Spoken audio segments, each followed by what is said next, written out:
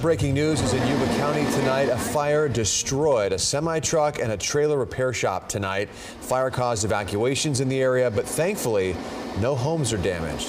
Thanks for joining us at 10. I'm Ty Steele. And I'm Andrea Flores. This happened on Arboga Road near Malady Road. It's next to the Yuba County Airport.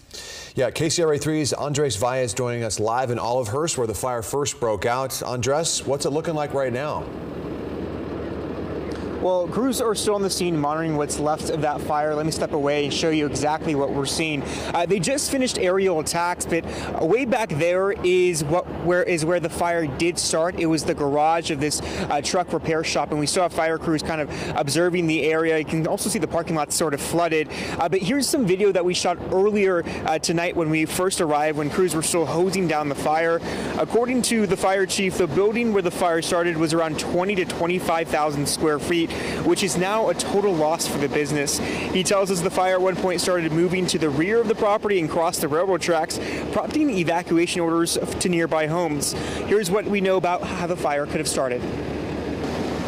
Repair guys, mechanics were here, said they were working on a vehicle inside.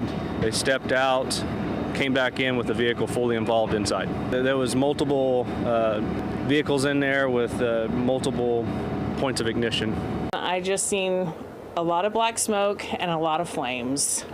And so we just stood out there and we started hearing, bon- um, I would assume propane tanks or I don't know, just explosions.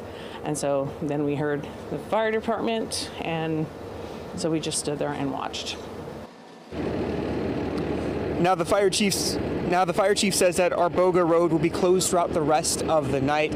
Uh, now we also know that no other structures were damaged uh, here, but of course uh, the cause of the fire is still under investigation. Live in Olivehurst, I'm Andres Valle for KCRA 3 News. What a scary situation. Andres, thank you.